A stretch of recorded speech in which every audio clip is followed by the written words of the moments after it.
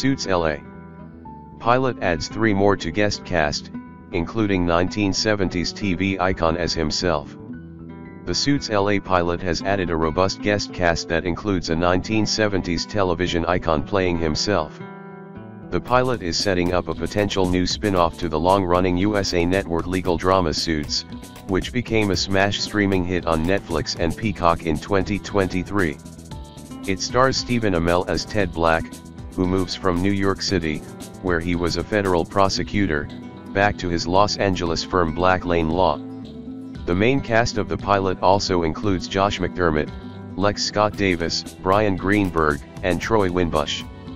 Per deadline, three guest stars have been added to the lineup for the Suits LA spin-off pilot. This includes John Amos playing himself as one of Ted's longtime clients. Also on hand are Victoria Justice as up-and-coming movie star Dylan Pryor and Kevin Weisman as Lester Thompson, a powerful man who will be facing a murder charge.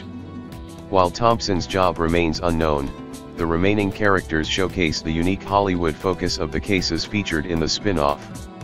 Weisman's most prominent lead role came when he played Marshall Flinkman opposite Jennifer Garner as Sydney Bristow in all five seasons of the early 2000s thriller series Alias.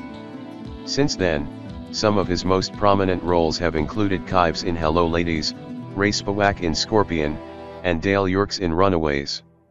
Given their long resumes, seeing all three stars interacting with the lead Suits LA characters will likely imbue the show with a feeling of genuine Los Angeles showbiz glamour.